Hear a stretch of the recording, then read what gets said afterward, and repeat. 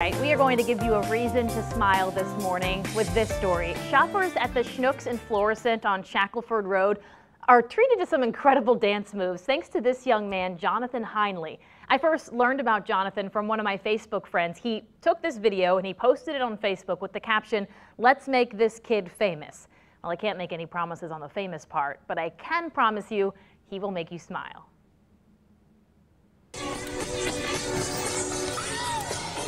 You know the saying, find something you love and you'll never work a day in your life? 20 year old Johnathan Heinle is living, moonwalking proof of it. I really love my job. I mean, this job is a lot to me.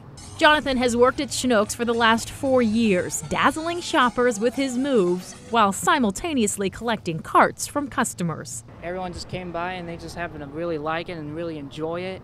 Once this coronavirus pandemic started, I decided I wanted to kick it up a notch. He only dances to his idol, Michael Jackson. With his white glove and speaker, Johnathan moves just like the king of pop, and he taught himself. There were times I would like rewind it and then play it again. Say, how does he do that? Almost more impressive than his dance skills is his competence, performing in front of strangers in a parking lot full of judging eyes. Something he became accustomed to as a kid diagnosed with Asperger's syndrome. My parents taught me an important lesson that you should be who you be, and as long as you have your self respect, there's no room for a hurt.